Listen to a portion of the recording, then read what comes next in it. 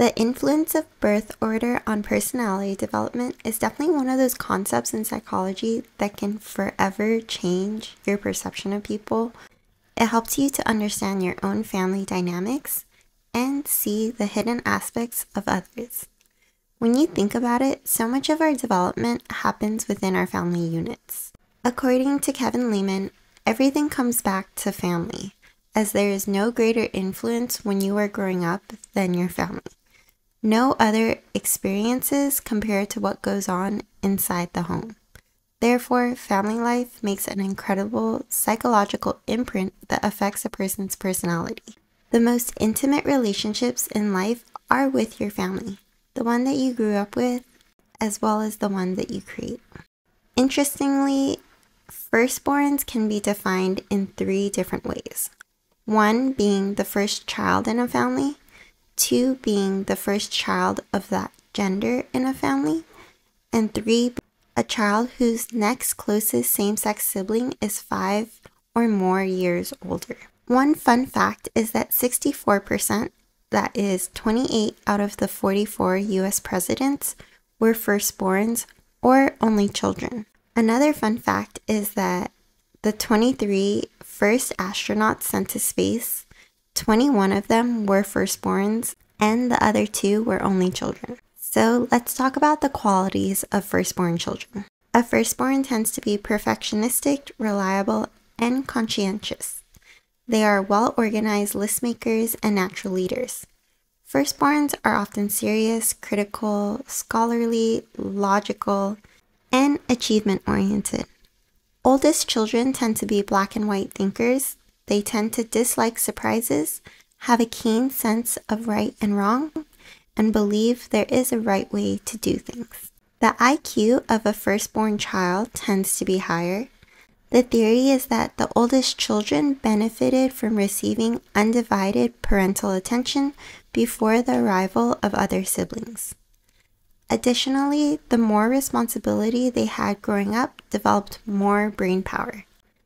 At a subconscious level, oldest children tend to carry the weight of their parents' dreams in their pursuits. Firstborns are the test guinea pigs of their, at the time, inexperienced parents who, as a result, experience more stress. A firstborn is often found in professions that take precision, strong powers of concentration, and dogged mental discipline. Research reflects Firstborns are more highly motivated to achieve than laterborns.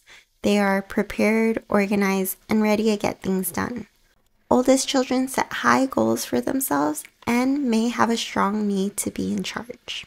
Alfred Adler characterized the firstborn by saying he or she likes the exercise of authority and exaggerates the importance of rules and laws.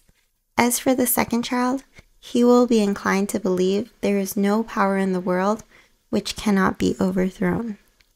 Just a quick note on only children. Only children are like super firstborns who tend to be little adults by the age of 7 or 8. They are incredibly independent and mature beyond their years. Often, books become their best friends and great resources they take advantage of. Alright, so now let's try to understand the middle child. Some of the qualities you can notice in middle children are that they're often compromising, diplomatic, and avoid conflict, making them very skilled mediators, negotiators, and peacekeepers. They are independent, secretive, and unspoiled. Middle children develop opposite personalities of the sibling before them. Anytime a later born child enters a family, his or her lifestyle is heavily influenced by his or her perception of the immediate older sibling. While firstborns typically have fewer friends, middle children often have many. A middle child is big on friendships. Middle children are unique, paradoxical, and very loyal. Of all birth order options, they are the most likely to be faithful marriage partners. Middle children can be inconsistent paradoxes. They are often easygoing, yet at other times very competitive. Sometimes quiet and shy, but also very capable of being very outgoing and friendly. A middle child is usually laid back. though at times may be impatient or easily frustrated. Despite being an innate rebel, there are also the natural peacemakers in their families. According to Dr. Kevin Leman, you can think of contradictions for the middle children. Now, let's try to understand the lastborn. Quote From the time they are old enough to start figuring things out, lastborns are acutely aware that they are the youngest, smallest, weakest, and least equipped to compete in life. End quote. So, some qualities of the lastborn children are that they're charming, tenacious, and manipulative. Lastborns are social, outgoing, and know no strangers. For them, life's a party, and they're most likely to get away with murder, but least likely to get punished. The youngest in a family tends to be uncomplicated, humorous, and spontaneous. They often retain their endearing nickname and are very affectionate individuals. Lastborns are people pleasers, attention seekers, and natural salesmen and saleswomen. Maturing at an advanced pace, the youngest children tend to be high on people skills and very perceptive. Often, laterborns are taught by their siblings for many things instead of by their parents. Mom and dad were less joyed by their accomplishments and quote unquote taught out possibly. As a result, a lastborn is a total sucker for praise and encouragement. However, the downsides of the babies of the family include a habit of blaming others, rebelling, and acting before thinking. Sometimes a lastborn can be bold enough to do things that honestly would make other people cringe at the mere thought of. The youngest child lives with a certain acceptance of constant ambivalence. Quote, Lastborns are on a seesaw of emotions and experiences that they feel hard to explain or understand. End quote. However, one of the best traits of lastborns is their persistence.